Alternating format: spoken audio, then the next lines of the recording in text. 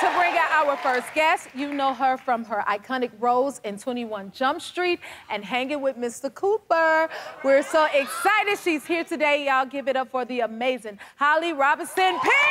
And now you you have kids. How many kids you have? Uh, four.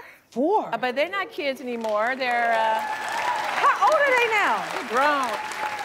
My youngest is 18, and the twins are 25, and the middle boy, that's my baby, just turned 18. And the middle boy is uh, 20. So, like, yeah, tw- 25, 25, 20, and 18. Amazing. Now, your youngest, is that the one you went in labor with at the Oscars? Yes, that's that boy. So, what, the one, and by the way, you might have had something to do with this, because that's the one I was on bed rest with. Because of you and Idol. Um, I went to an Oscars party at uh, Crustacean. It's a restaurant out here. And, and honey, they serve this low down garlic noodles that are so good, right? Nine months pregnant, really out, doing too much. Probably should not have been out. Um, but I had to get them noodles, right? So I went and got the noodles, and it's an Ebony magazine party, so everyone in Black Hollywood is there, right? Uh-huh. So I'm tearing my noodles up and mm, get my noodles, and all of a sudden my water breaks. That's when the This water is the picture? Oh no, because Arnold Turner, who is a photographer that we all know in Hollywood, was snapping away, and I was so mad at him. But now, of course, I love these pictures. but wait, so I'm sitting there, and there's a tablecloth wrapped around me. But what you didn't see was Samuel L. Jackson was sitting next to me, but my water broke all over his shoes, and so he. So you know, every time I see him, you see him, he said, "I want a new, you owe me a new pair. you owe me a new pair of shoes."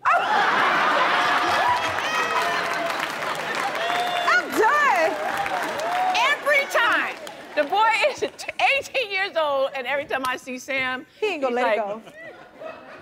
where, my, my new shoes? What? Um, so, so that was crazy. And then every, I went out into, you know, on the street, and I'm on this gurney. Look, there I am on the gurney, and they're taking me out, and I'm holding a black. Look, look, I'm holding a BlackBerry. That's how long that that was. Long ago that was. And um, I went to the hospital, and then, you know, had had Roman, but I, I always laugh because he has this curly, curly hair. I think it was the noodles. You funny. you hilarious. Is, is, is Samuel L. at least the godfather then? You know, I should have made him the godfather because did happen all over his shoes. But he took my car home that night, him and his wife LaTanya, like they were so lovely. I should, probably should have done that. But uh, I I, just, I just got to get him a new pair. Yeah. After 18 years. Right, Maybe right. we could get him to get them shoes here. Right. That is Isn't hilarious. that funny? Oh my God. Now, you're an icon. Like, right? Yes, you are. Oh, An iconic career. Like, do your kids, did they ever realize who their mama is? you know how kids are. I don't know about yours, Yeah, no, but like they don't, they don't really think you do anything, right? Or Yep. They just have an, uh, a, really not much of appreciation of what you do. But when I got my star on the Hollywood Walk of Fame, and they were running down, you know, running down like, oh, you did this, you did this, you did this. They were like, oh, mom, okay, you did something, you did, you did something. but how about when I got a part on the Proud Family, Louder and Prouder? They thought.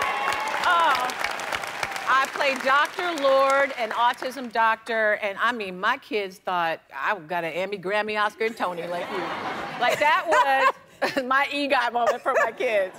Um, and so, but I loved being on that show because um, I got a chance to diagnose the baby with uh, autism as the doctor, and my son has autism, and that day was not good. I was told all these things my son would never be, and I always felt like I wish I had gotten a different diagnosis. So I almost got to reimagine the diagnosis mm. through Proud Family. So I'm so excited about that show. and Wow. that Wow. Wow. I cannot even.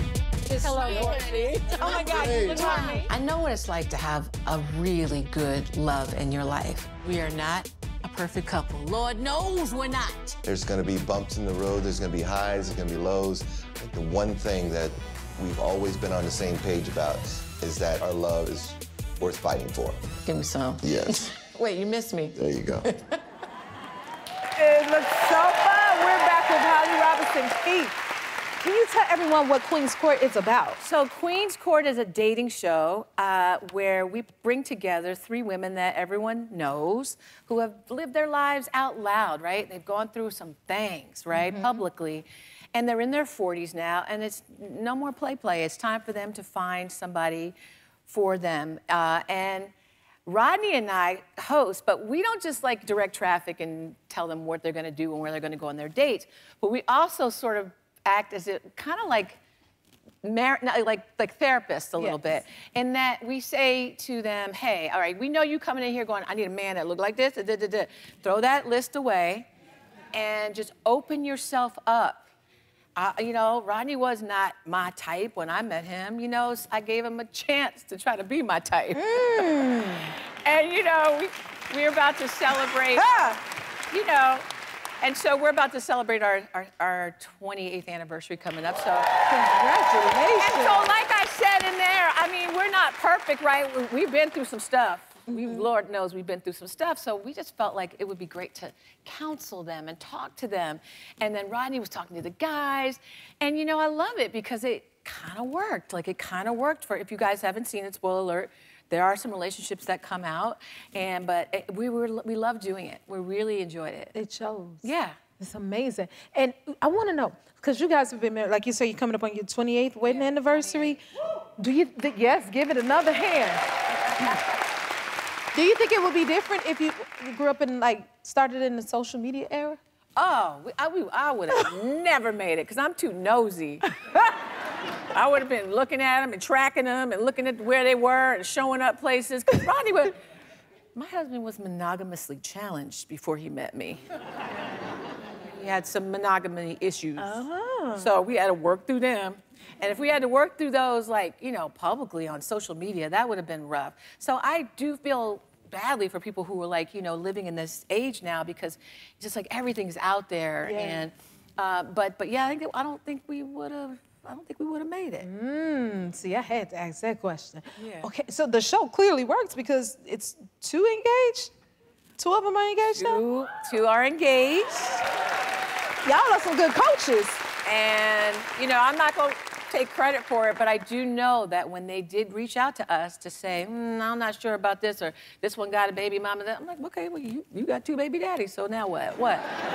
Paint the, put it in perspective. Like, it's okay. Like, we, this judgment of having more than one husband or wife or baby mom, like, let that go because people just like y'all are trying to change so are these gentlemen so mm. i just thought it was a great social experiment it is, and yeah. it sounds like they got the right example sitting in front of them. I think so. Like it was a perfect fit for both of us. First, Rodney was like, "What are you getting me into?" But then by the end, he was like, "Okay, so what happened with Evelyn? and what happened with? And let me go talk to him." Like he was way too invested. I was like, "Okay, calm down, Sprite. calm down." It was fun. That was fun. If you like this video, smash that like button and subscribe to the Jennifer Hudson Show YouTube channel. Check your local listings or visit jenniferhudsonshow.com to see when you can watch full episodes in your area. And don't forget to sign up for the newsletter.